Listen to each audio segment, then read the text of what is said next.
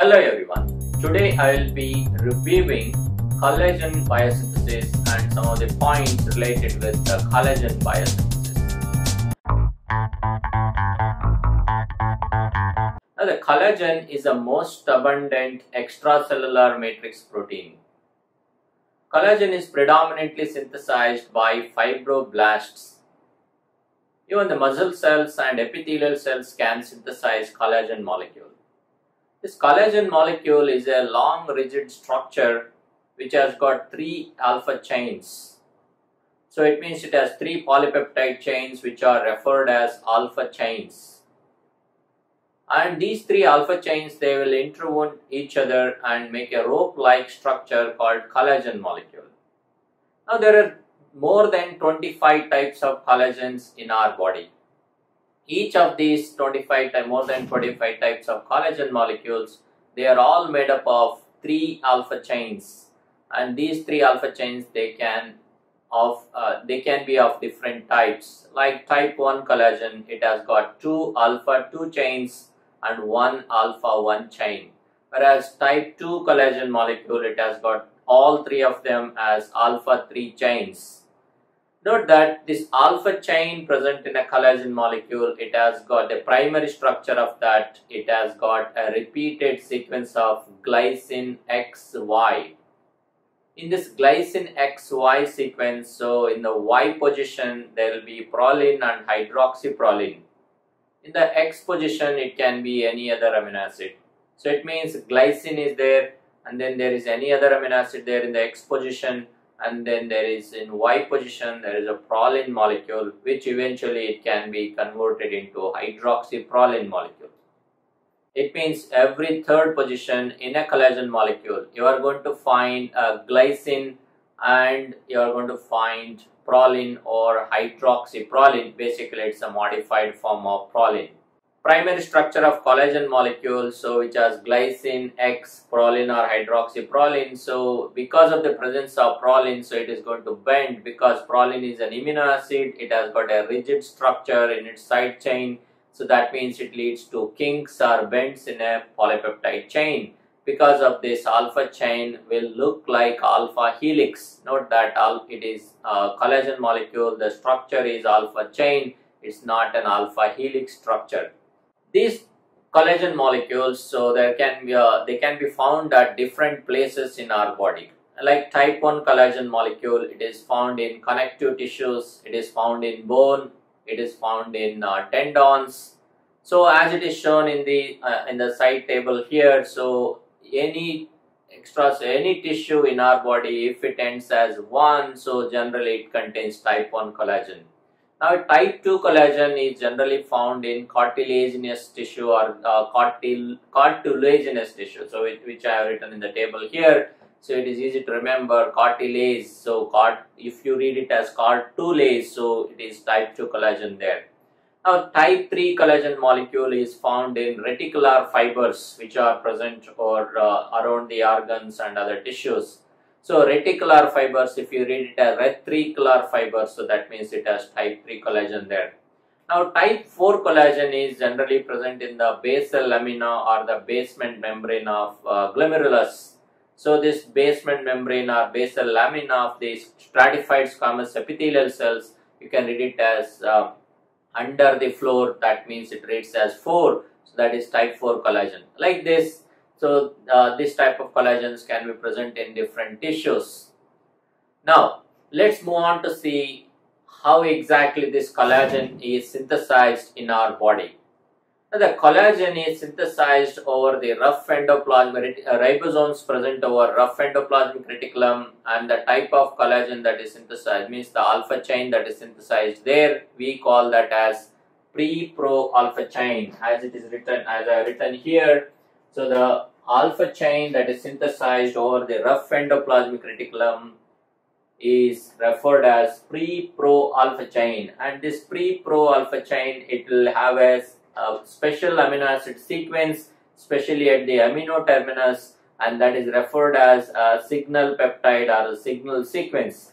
And this signal peptide it is going to lead to this pre-pro alpha chain into the lumen of endoplasmic reticulum.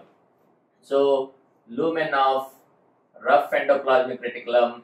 So pre-pro alpha chain, it moves into lumina of rough endoplasmic reticulum and it will be converted into pro alpha chain. So what happens here?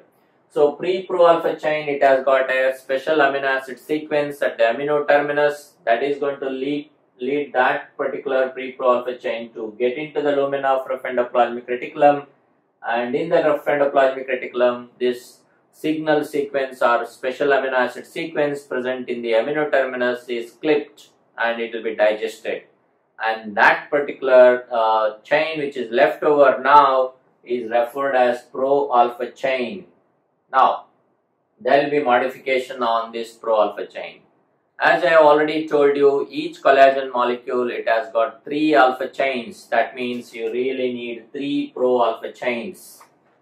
Now these pro individual pro alpha chains, they will undergo hydroxylation process in the lumen of rough endoplasmic reticulum. So pro alpha chains will undergo hydroxylation. So where exactly hydroxylation will be going on over pro alpha chains? Now, randomly selected proline and lysine amino acids in these pro-alpha chains, they will undergo hydroxylation process.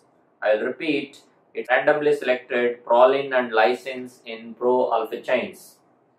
Now, selective pro prolines will undergo hydroxyproline formation by an enzyme called prolyl hydroxylase enzyme. And this prolyl hydroxylase enzyme, it is going to introduce hydroxyl group to a proline molecule and convert that into hydroxyproline and that happens in the lumen of rough endoplasmic reticulum and that's because prolyl hydroxylase enzyme is present in the lumina of rough endoplasmic reticulum.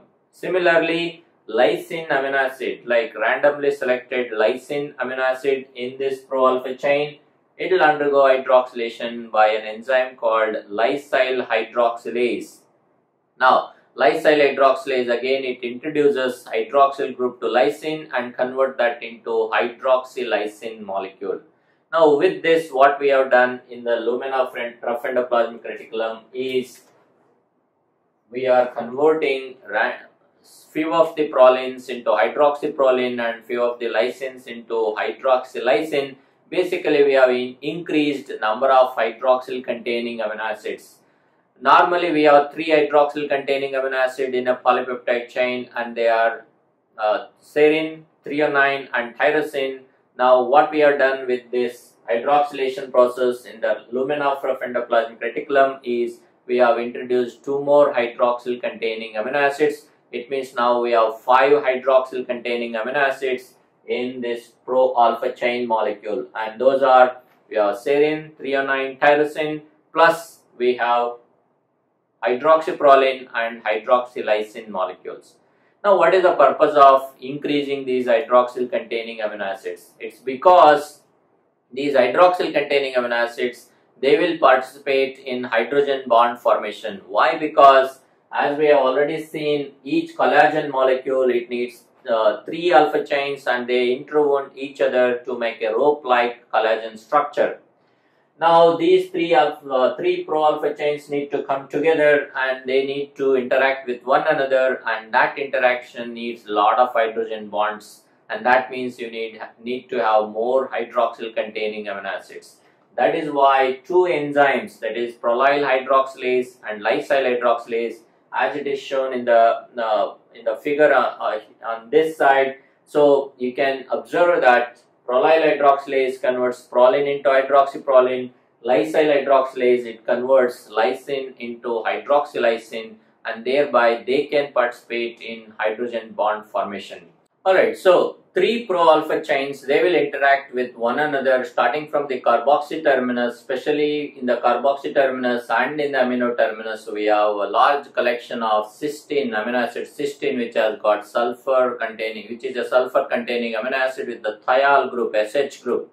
So these cysteine molecules, they will interact with one another between the pro-alpha chains. As I have shown here, one pro-alpha chain interacts with another pro-alpha chain with the disulfide bridge and other pro-alpha chain interacting with the third pro-alpha chain with the disulfide bridge. So it means all three pro-alpha chains they come together and as they come together so that we have five hydroxyl containing amino acids and these five hydroxyl containing amino acids they will make a hydrogen bond formation and this is how you are making a triple helix structure and that is a procollagen molecule. So right now what we have done here is three pro-alpha chains, they come together, hydrogen bond formation going on and all this is going on in the lumen of rough endoplasmic reticulum. So now we got a procollagen molecule which is a loosely knitted uh, procollagen molecule, not really matured procollagen molecule, no, mature collagen here. So it is all stabilized by hydrogen bond formation, chains are coming together by disulfide bridges and uh, by the time you make procollagen molecule, so procollagen molecule now it is ready to move into Golgi complex. So procollagen moves into the cis Golgi so as it moves into the cis Golgi and as it is transiting into the medial Golgi, so further glycosylation process will be going on in, on to this procollagen molecule. So procollagen molecule moving into Golgi complex. So as it is moving into the Golgi complex in the cis Golgi, medial Golgi as it is going into the trans Golgi, so there will be glycosylation going on in the Golgi complex. So where exactly gly glycosylation goes on?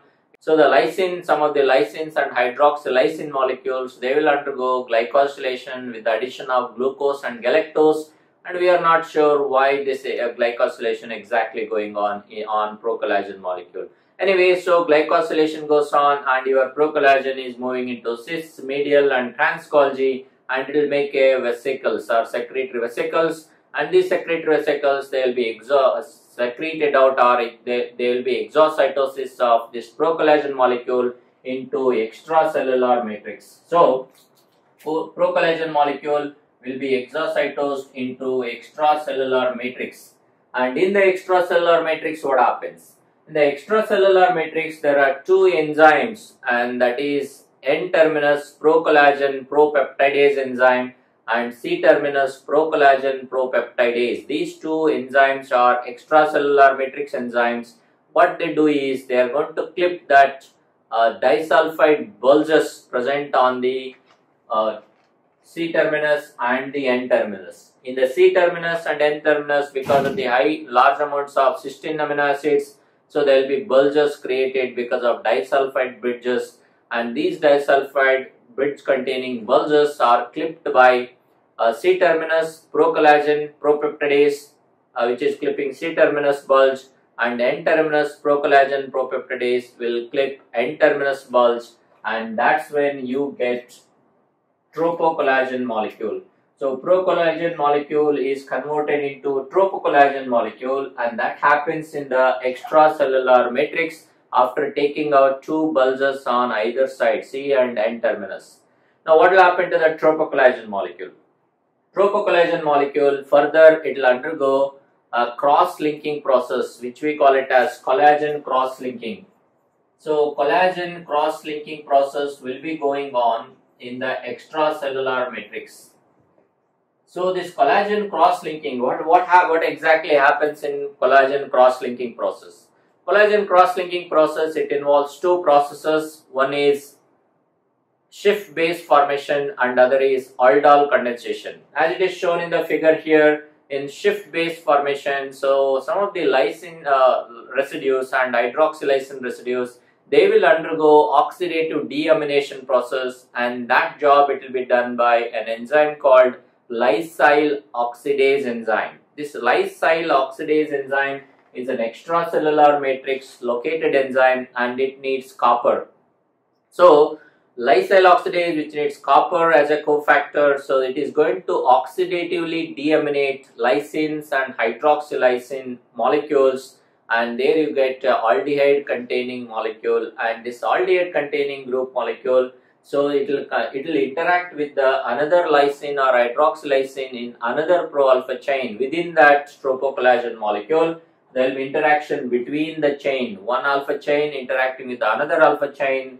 So where the amino group is going to interact with the aldehyde group. So we call that process as Schiff base formation and that is an example of collagen cross-linking process. Or two aldehyde groups, they in one, one alpha chain, one aldehyde group, another alpha chain, another aldehyde group, it can interact with one another and that process we call it as aldol condensation. So we have Schiff base formation or aldol condensation. These two processes are referred as collagen cross-linking process and at the end of that collagen cross-linking what we get is it is tropocollagen is converted into mature collagen molecule and it has increased its tensile strength because each pro-alpha chains they are all cross-linked with one another and the tensile strength of a collagen increases because of this. So this is how we have synthesized a mature collagen molecule. So let me quickly review that. So we have pre-pro-alpha chain synthesized over uh, the surface of endoplasmic reticulum. So this pre-pro-alpha chain, it has got a special signal uh, peptide which will allow this pre-pro-alpha chain to go, go into the lumen of rough endoplasmic reticulum. Once it gets into the lumen of rough endoplasmic reticulum, that signal sequence is clipped and you got pro-alpha chain. You need three pro-alpha chain to make a collagen molecule. So three pro-alpha chains, they come together and basically there will be hydroxylation process going on in the lumen of rough endoplasmic reticulum done by prolyl hydroxylase and lysyl hydroxylase. These two enzymes, they need ascorbate as their coenzyme. Now, with that hydroxylation, we have more number of hydroxyl containing amino acids and also these pro, three pro-alpha chains, they come together with the disulfide bridge formation and hydroxyl containing amino acids will participate in nitrogen bond formation. So overall you get a pro-collagen molecule. Now this pro-collagen molecule move into Golgi complex. So in the Golgi, Golgi complex, the more and more hydrogen bond formation occurs and also glycosylation process will be going on. And as it moves into trans Golgi and clips off as a vesicle, so vesicle will be secreted outside into the extracellular matrix. And in the extracellular matrix, so there will be clipping of two bulges on either side, N and C terminus. And these bulges are clipped and that clipping will be done by C terminus procollagen propeptidase, N terminus procollagen propeptidases. And there you get tropocollagen molecule. Now this tropocollagen molecule again in the extracellular matrix will undergo collagen cross-linking process done by lysyl oxidase which needs copper. And during this process there are two processes which are involved in collagen cross-linking. One is aldol condensation other is Schiff base formation these two processes they will link or cross link uh, alpha chains together and make a mature collagen and that happens because of collagen cross linking process. So this is how we will uh, we synthesize collagen molecule in the in our body and it will be present in the extracellular matrix of different tissues. More than 25 types of collagens are present and they have their own function depending on how they are arranged arrangement of collagen in the tissue it matters what will what is the exact function of that particular collagen in our body. Say like in basement membrane of kidney so type 4 collagen it has got a long mesh uh, mesh like network whereas in the cornea so type 1 collagen molecule it has got a systematic arrangement to give a transparency to the cornea Whereas in the bone, so collagen molecules, they have got angulated arrangement and that will give a mechanical strength to a bone. So this is how we synthesize collagen. I hope this video has helped you in understanding collagen biosynthesis. If you have any comments or uh, questions, don't hesitate to put them in the comment, comment section below. If you like the video, give thumbs up and for regular updates, you can consider uh, subscribing to this channel. Thanks for watching.